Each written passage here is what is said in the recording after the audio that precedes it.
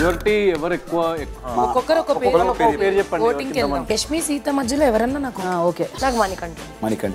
నాకు యష్మి అనిపిస్తుంది. దాని తర్వాత నబీల్ ఎందుకంటే ఓనర్ క్యారెక్టర్ అంతేం లేదు బట్ స్టిల్ హీస్ ట్రై ఈ ట్రై ఈ ట్రైడ్. వాళ్ళతో కోఆర్డినేట్ చేయడం కానీ మనతో మాట్లాడడం కానీ. యష్మి. యష్మి సీత. నిన్నటి నుంచి మీరు స్టాఫ్ని గమనించారు. ఇప్పుడు వారి ఫిజికల్ స్ట్రెంగ్త్ ఏంటో తెలుసుకునే సమయం వచ్చింది. Three two one.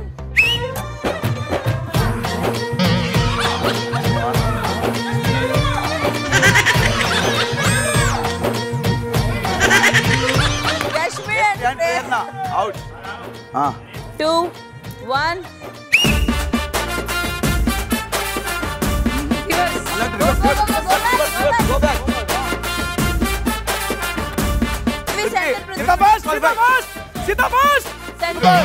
Nabeel and Prithvi Nabeel and Prithvi बिल्कुल सीता अब ओके ले इनका लाग आ गया